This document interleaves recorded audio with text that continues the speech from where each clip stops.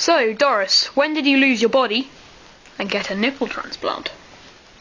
Well, I was walking in the street one day and this woman, no, boy, came out of nowhere on a lawnmower and he hit me.